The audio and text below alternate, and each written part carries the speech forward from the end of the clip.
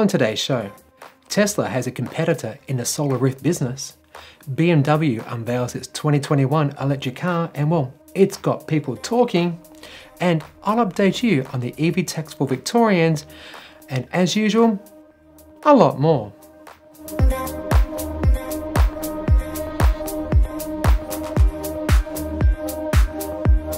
G'day and welcome to the show. If you're into renewables, tech like electric vehicles, battery storage, and a lot, lot more, welcome. This might be the channel for you. I cover this sort of stuff from a Australian perspective, so if you're new to the channel, subscribe. It does help the channel, it really, really does. Put a little comment down below, click the notification thing, share this on your socials, you get the idea. But if you want to go to the next level and you want to get this sort of content early, including behind the scenes content, polls, news, things you just don't get here, consider supporting me over on Patreon, where from it's like as little as $2.50 per month, that's 60 cents per week, you get all this and what a lot more, including Discord privileges and more a lot more. And join these awesome individuals over here, including my producers, Tessa Nagong, Nigel Farrier, and Ashley Hill. Alright, let's get into the news. What's this? New South Wales is going to go in it alone on vehicle emissions? Hold the phone! Okay, to my international viewers, what has just occurred with that little fake segment I did there was that in Australia, we basically don't have any emission standards, okay? So hashtag Australian politics. So what New, what New South Wales is proposing here is earth shattering. It really is. Leaked to The Guardian earlier last week, a draft copy of the New South Wales 2020 to 2030 Clean Air, Clean Air Strategy paper outlines stricter regulations around noxious emissions and CO2 standards for vehicles sold within the state. If adopted, it would mean that New South Wales will match European standards, and we all know what that means. Electric vehicles, because good luck getting a car out of out in 2027 under these increasingly difficult standards. Now, whilst I welcome this move, I really do, if it happens, folks, I gotta say, it's going to make it actually increasingly hard for car makers to bring cars to Australia because it will go something like this. Well, those crazy folks down under, they don't know they're a Martha or Bartha, and I have no idea what car to send them. That was a weird accent, apologies. It will be chaos for everyone. So, how about we let our local member of parliament know that we want support around this, not at state level, but at federal level. That way, all the states and ter- territories will be aligned, and that means that car makers can go, well, we basically can't sell Australians an internal combustion engine vehicle that emits carbon and yucky, noxious gas and stuff that clogs your lungs. No, we're going to have to give them a clean, green electric vehicle, aren't we? And that is a great thing. So, hey, New South Wales, you do it, great, well done. But you, can, can you just do your job? Question What's better than a Tesla solar roof? An Australian solar roof with integrated hot water system. Check these massive solar hydro tiles from Tractile. They've recently created and installed these systems in houses in Australia and well other parts of the world. And importantly, have international patents plus well the ability to actually produce and ship these in the US of A. Go Aussies! Tractile, a Queensland based company, believes that its system is superior to Tesla's because not only does their roof produce electricity from the sun, but it also uses heat to water um, to heat up water through tubes which run actually uh, beneath the photovoltaic panels.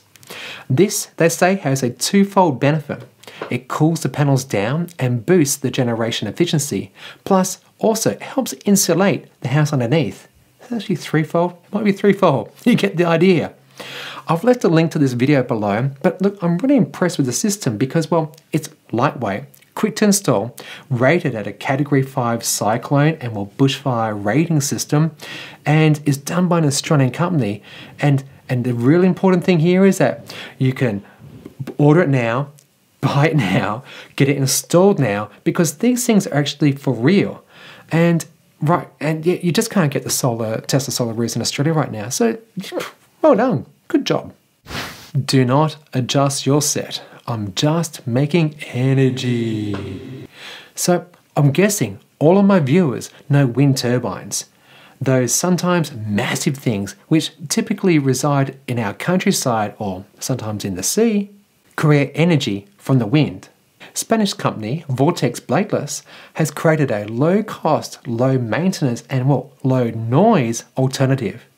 Using vortices that build up around objects, the technology harnesses the laws of physics by making these funny looking things wobble as a result of air passing around them and vortices building up behind it.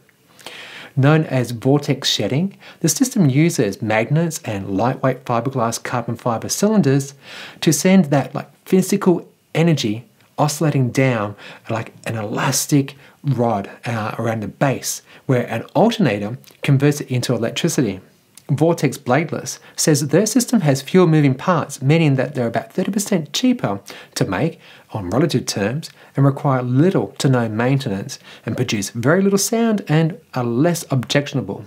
In terms of power output, these vortex wobblers are designed for local energy markets where power can be used close to the point of consumption and work in conjunction with other small scale generation technologies. So, what do you think? To me, they're kind of funny looking, and I wonder how they really sound when you're near to them. But nonetheless, I like the fact that they are easier on the eyes, are bird friendly, and might just be accepted by this bloke.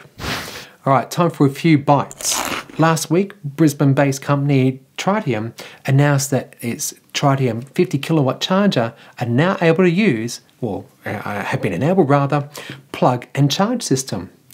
Available worldwide on its RT50 chargers, this system allows electric vehicle drivers to plug in, fill up, and pay automatically without the need for using an app or RFID tag. Yes!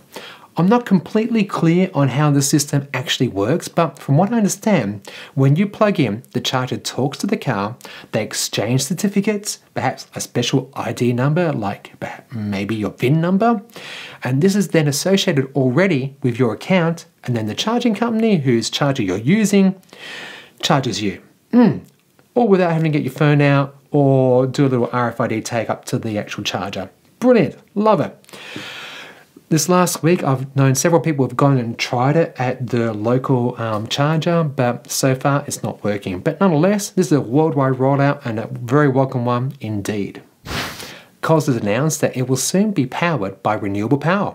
Nice one, Coles. In news to me, they've had an energy reduction plan in place since 2009 and to date have reduced emissions by 36.5%. And this new announcement by mid 25, the company will source all of its energy from renewable sources. Lindsay Soutar, director of Greenpeace's Re Energise campaign, knows that this switch will put a big dent in Australia's greenhouse gas emissions and will inspire confidence in towns and cities across the country that even the biggest, most complex businesses can run on renewable energy. To me, this announcement means that all three large scale supermarkets, that's like uh, Woolies, Coles, Aldi, yeah, Aldi was the first, I think. Good job, Aldi, Um, they've all committed to 100% clean electricity, meaning that goods and services in Australia for everyday use uh, will actually be brought to us by wind and sun. Hmm, it's a good feeling, isn't it? Last week, VW held its annual media conference, and boy, do they have big plans. A quick summary by 2023, they plan on making a unified cell, which, along with structural changes to packs, will mean that battery costs are, up, are reduced by up to 50%. This will benefit customers as VW predicts that their new cells will drive down the cost of battery systems to significantly below 100 per kilowatt hour. Um, yeah, okay, that's about $120 American. So, not that magic $100 per kilowatt hour yet. In this decade, they'll create 6 gigafactories with a total production capacity of 240 gigawatt hours. In addition, they'll collaborate with suppliers and work towards all materials from their cars to be recyclable up to 95%. For viewers from Europe, you'll be even more spoilt for charging choice as Volkswagen establishes an additional 8,000 8,000 fast charging points throughout Europe with BP. Yeah, these guys, BP. Okay, so 8,000 more chargers with a charging capacity of 150 kilowatts uh, to be installed at more than 4,000 BP and ARAL. ARAL? Is that how you say, guys? ARAL? this word? Um, at the service stations in Europe. Fantastic. What about uh, America? Electrify America, that's actually VW by the way, they're planning around 3,500 additional fast charging points in North America by the end of this year. And China, they're going to get 17,000 fast charging points by 2025 through a CAMS VW joint venture. So, VW, hello, it's Australia. Anything for us?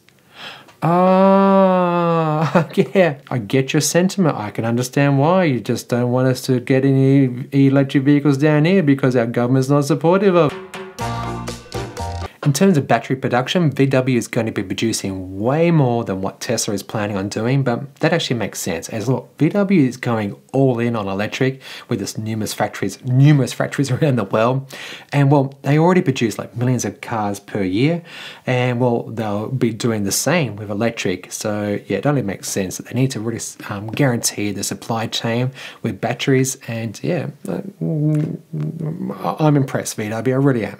Alright, time for another segment of charging. And well, this week I've got a viewer contribution from one of my producers, Ashley Hill. Ashley, over to you. Hi everyone, I'm here at the very noisy Monash University Caulfield charger. Um, single charger, you enter in through Princes Avenue uh, and then drive straight ahead instead of turning to go up the ramp. Uh, it is paid parking, with a code and app that you need to download for three and a bit dollars per hour uh, for parking, but you have a one hour maximum in the charging bays. The unit is a 50 kilowatt unit, but it has um, a CCS and CHAdeMO adapter. So you have one hour parking here, and there is the app details. I think if it was broken, you could probably get away with using a PowerPoint right there, but a bit iffy. Um, what's good about this spot is that there is the Caulfield Plaza right there. Uh, so behind me now, if you head down that way, you can go out and go and do your shopping or whatever you need to do there, like a one minute walk. Um, so it does have 80% limit on the charger for the light, but it doesn't actually seem to get applied. I'm not charging above that now. Um, but all in all, pretty good charger. It was pretty easy to download the app for paying for the parking and register, but you can, you can only be here for an hour.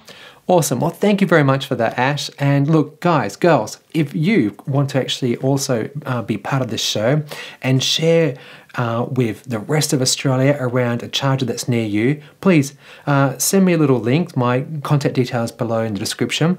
And yeah, just make sure you shoot this way, not this way. Don't don't do that. I won't put it on. And please don't don't use music because I'll get a copyright strike. No, don't don't use music. Um, but nonetheless, yeah, we need to uh, help each other out in Australia because we have very few chargers, and uh, we need to know more about what's going on where. And um, yeah, let's really encourage the uptake of this. And a PS, if you are in the market for like a Tesla Model 3, X, or S, um, yeah, look down below for Ashley's referral link and yeah, consider using his to get yourself like 1500 kilometers of free supercharging credits. And yeah, help each other, pay it forward. That's, that's what it's all about. Pay it forward. MG unveiled two EVs it plans on bringing to Europe and, well, most likely Australia. First up, the MG Marvel R. This is a high-tech, large luxury SUV with three different motor configurations. Yep, three, front, rear and a tri-motor set, uh, setup. They will be able to produce a 0 to 100 time of 4.9 seconds. This good-looking SUV will be able to do 400 kilometers on the WLTP cycle. A strong front presence with its X-patterned light and grille the profile and rear very much looking like Audi's offerings. It features also a heat pump, a three-phase 11 kilowatt onboard charger, and well, this SUV will be able to do, um, or tow rather, 700 kilograms. The interior looks very high end and features a 19.4 inch touchscreen and a 12.3 digital instrument cluster. Not shown but discussed, MG says the Marvel R will have a vehicle to load socket for powering plug-in devices like laptops and appliances and the like, and more details will be revealed soon. Next is the MG5 Electric, the world's first 100% electric station wagon, which would have done really well in Australia mm, 20 years ago. This practical EV is like 4.5 meters long, 600 litres of boot space, or you'll put the seats down, more than 1400. This car can also do 400 kilometers on a WLTP cycle, features the same 11 kilowatt three phase onboard charger, as well as vehicle to load. Actual details of an Australian launch aren't yet firm, but uh, there is indication that uh, MG Australia really wants it out here, and so far they're selling quite well, the brand that is, the electric side of the business, so I think we will definitely see them. And one final story BMW revealed its upcoming BMW i4. This spiritual successor, in name only to the i3, has some sporty characteristics that Beamer fans will love. Ooh, a grill, because everyone needs to show their teeth. BMW's i4 will be fully electric and will enter European markets during the course of 2021. Coming in a few variations, the model line will be available in ranges of up to 90 kilometers on the WLTP cycle. Although details are yet to be fully revealed, BMW did say that power output of up to 390 kilowatts will be available, and the BMW i4 can accelerate from 0 to 100 kilometers an hour in 4 seconds. When I get more information around this, I'll let you know, but what do you think? Is this a good looker? Um, I'm, I'm not sold on it to be honest. Uh, the whole direction that BMW has been going lately with its very aggressive front grills just reminds me of two little beaver teeth. Mm, it's, it's, it's doesn't doesn't get me floated doesn't float my boat at all. No doubt they're gonna be nice to drive, but uh, in general, I found most EVs are pretty nice to drive. Uh, with thanks to that low center of gravity and the extra weight behind the battery means the suspension needs to be beefed up and tuned a bit better.